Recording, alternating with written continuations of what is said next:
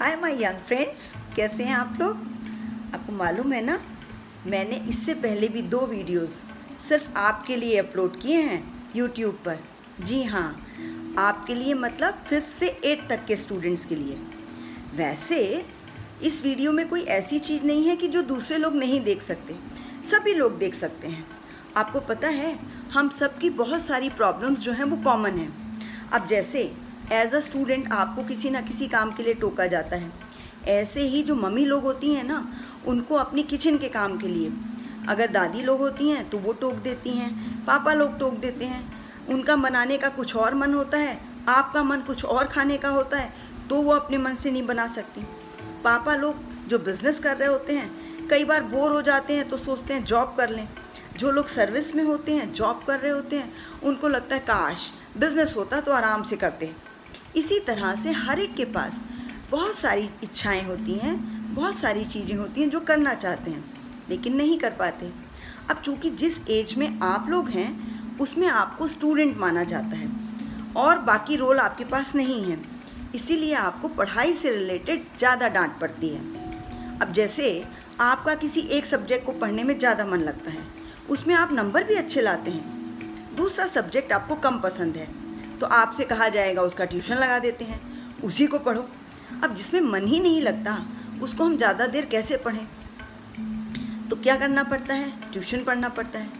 अब आप क्या करते हैं? थोड़ी सी लापरवाही करते हैं। जब ट्यूशन भी लगा है, क्लास में टीचर भी समझा रहे हैं, और आपने जाके अपनी प्रॉब्लम पूछी भी नहीं, आप डर के बैठ गए, टीचर डांट देगा, मुझे तो बनता ही नहीं है, या ट्यूशन में भी आपने अपने टीचर से जो चाहे मेल हो या फीमेल किसी से भी, आपने ये नहीं पूछा, ये मेरे को समझ ही नहीं आता।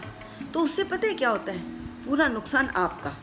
ट्यूशन में डांट पड़ती है, स्कूल में भी लोग टोक देते हैं, टीचर डांट देते हैं, कई बार फ्रेंड्स भी हंस देते हैं, और पेरेंट्स तो डांटते ही रहते हैं। अब इतनी सारी डांट खाने से तो अच्छा है कि मन लगा के थोड़ा सा पढ़ लिया जाए।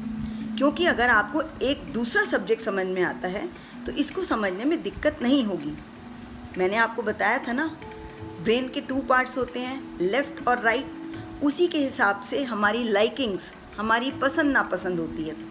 पर इसका मतलब थोड़ी है कि जो चीज़ हमें नहीं पसंद है, वो हम कर ही नहीं सकते। अरे, हम चाहते हैं तो कर सकते हैं। बहुत सारी ऐसी चीज़ें हैं जो हम नहीं करना चाहते, फिर भी कर लेते हैं। अब देखिए ना रोज़ सुबह उठना पड़ता है। स्कूल के लिए तैयार होना पड़ता है। कई बार कंपलसरी होता है कि नहाओ। नहीं मन करता तब भी नहाना पड़ता है। बहुत सारी ऐसी चीज़ें आपको जो कम पसंद होती हैं, तब भी आप करते हैं। और धीरे धीरे वो आपके रूटीन में आ जाती हैं। जब रूटीन बन जाता है तो फिर हमें उसको करने में दिक्कत नहीं होती। सपोज़ आपकी लैंग्वेजेस वीक हैं, आपको स्पेलिंग्स में, मात्राओं में दिक्कत होती है तो बेटर ये होगा कि रोज़ के टेन वर्ड्स की प्रैक्टिस की जाए।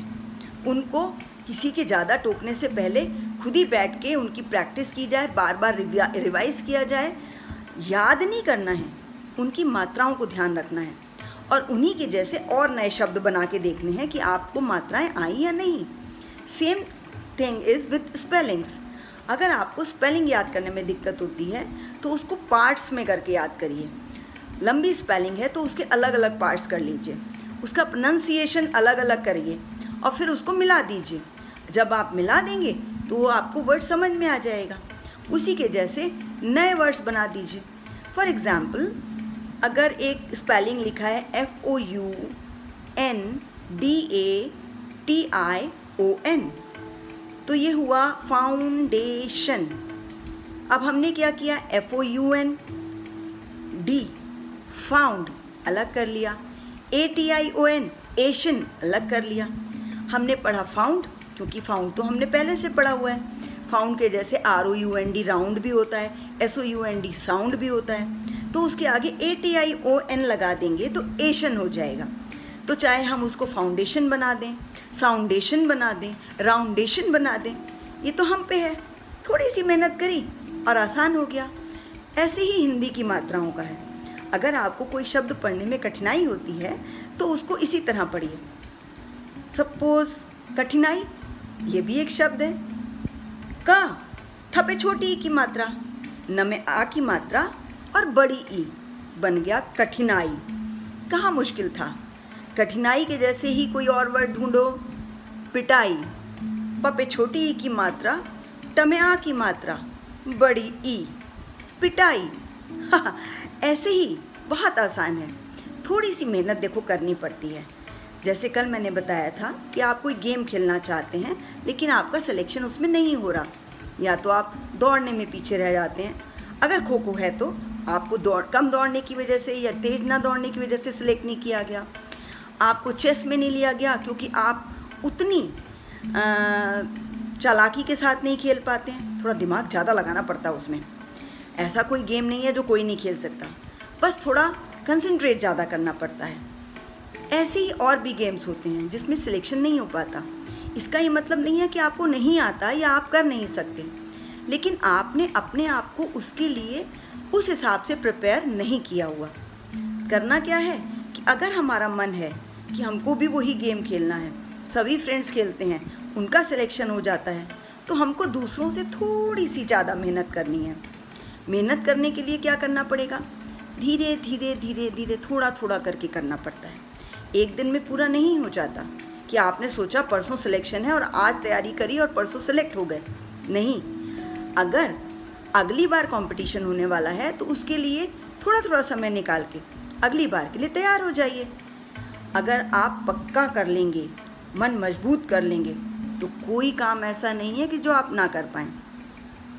इसके बीच में आपको अपने खाने पीने का भी ध्यान रखना पड़ेगा।